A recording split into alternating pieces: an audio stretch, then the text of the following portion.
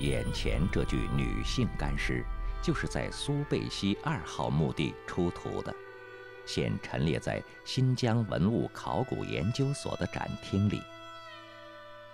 从这位女性死者头上戴的冠饰看，与鄯善洋海三号墓地出土的木头盒子有些相似。只不过，苏贝西墓地出土的女性冠饰都是用毡子缝合而成的，通高四十五厘米。苏贝西墓地所处的时代约为公元前五世纪至公元前三世纪，而洋海三号墓地也处在这个时期。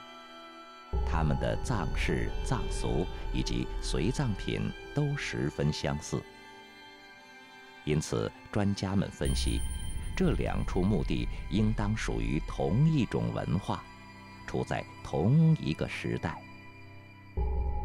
像这种木头盒子与苏贝西墓地出土的女性冠饰一样，应当是妇女们头上戴的一种冠冕。这样的冠冕带有强烈的装饰效果，应该不是日常生活中的穿戴，它可能具有某种象征意义，象征着女性崇拜和女权至上。最初冠冕上可能还有一些装饰品，以示尊贵。像这个红柳棍啊什么的，有的呢是，呃，一根儿，有的是两根儿，甚至有三根儿的这样。有学者认为呢，这种就是带几个尖端的这种，呃，表示了当时这个女性她有几个丈夫这样的一种情况，就是从这个。我国呃民族志和世界民族志材料里，然后可以找到这样的证据。但是，也有专家认为，洋海墓地出土的这种冠饰很像是一条鱼，前半部分像鱼肚鼓起，后半部分有尾翼，还有鳍，所以称之为鱼形冠。这种鱼形。冠饰绝不仅仅是一种装饰，或者是女权至尊的表示，而很有可能与这个族群的渊源有关。李潇博士经过研究发现，在洋海墓地，除了鱼形棺之外，还有一种奇怪的现象，就是洋海人有纹身的习俗。而纹身的图案也是鱼，像这具干尸的手上和脚上就纹了四条鱼。这是我们描出来就很清楚了。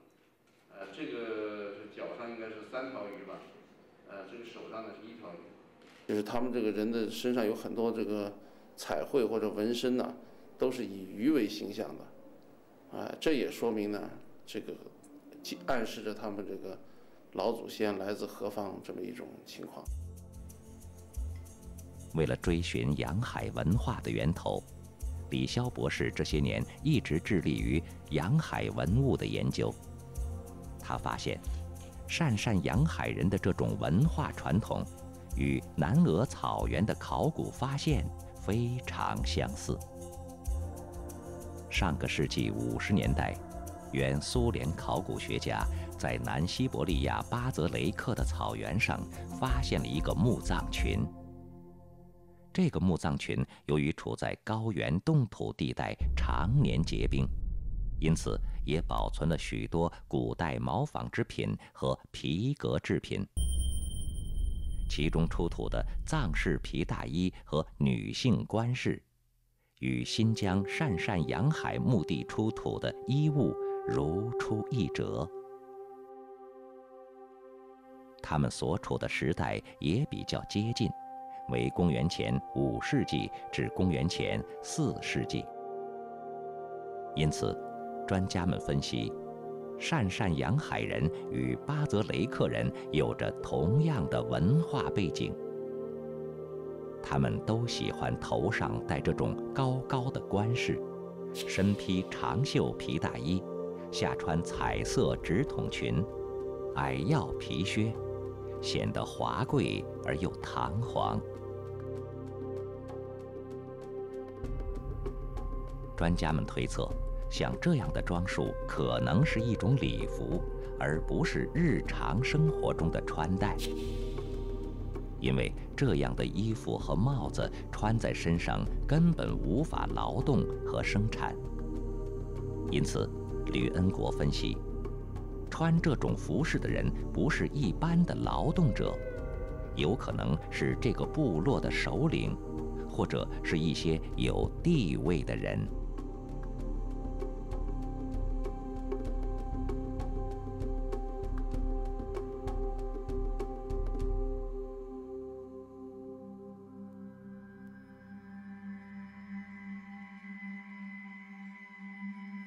二零零七年十月，在距离洋海古墓二十公里的圣金殿又发掘了一个古墓群。这个古墓群的时代为公元前后，与洋海古墓群三号墓地时代相对应。在圣金殿古墓里，考古队也发现了与洋海墓地一样的棺饰。但是它的用途却与考古队原来的判断有所差异。这件木棺是位于 M 十三号墓男主人的腿部，而在同一个墓女主人头顶处，考古队还发现了一个形状怪异的东西。这个东西木质结构。它的头像一个木桶，边缘用锦织物装饰。在它的外顶两侧装有两根弧形木棍，外部整体涂黑。这种奇怪的东西是新疆考古界首次发现，在国外的考古报告中也没有发现类似的报道。专家们根据它的造型特点和摆放的位置判断，也许这才是真正的女性官饰。原来那种木头盒子并不是女性官饰，而应当是男性的棺饰。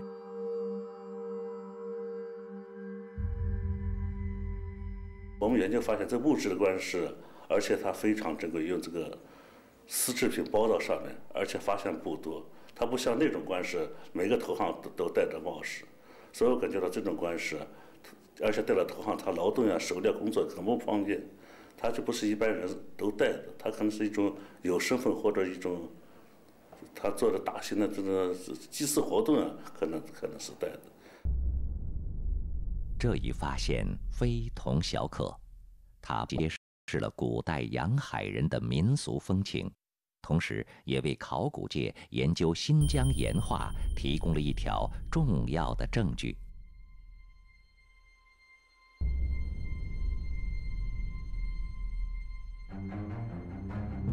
在过去几十年里，中外考古学家在新疆的天山南北及阿尔泰山深处的悬崖峭壁上，发现了许多岩画。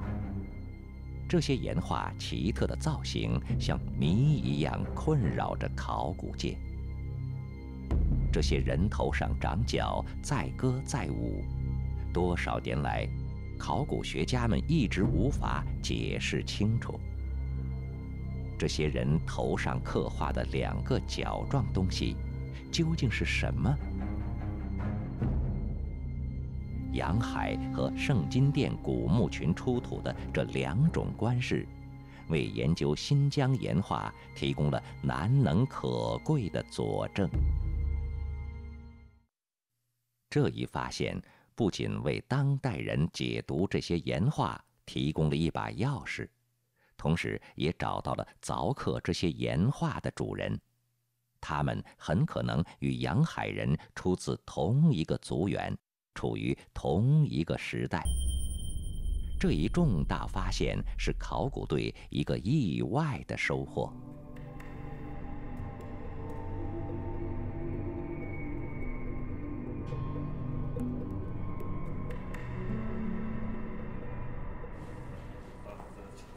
专家们通过杨海墓地出土的服饰和官饰的比较性研究推测。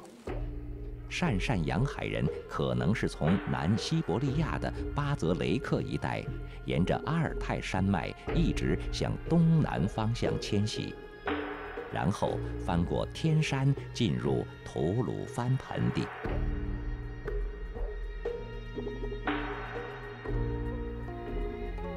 他们在迁徙的过程中，将本民族的文化传统用一种独特的方式，镌刻在了阿尔泰山和天山深处的悬崖峭壁上，成为一部永远也不可磨灭的史书。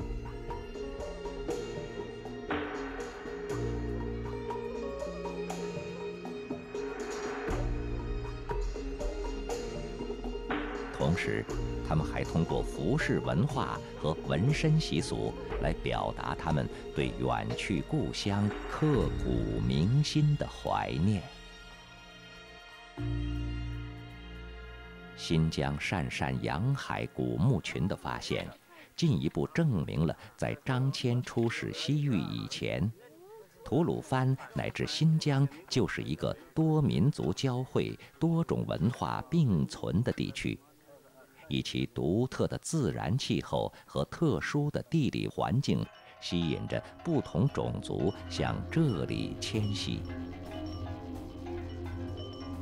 几千年来，在东西方文化的影响下，这个族群在这块火热的土地上写下了华彩的历史篇章。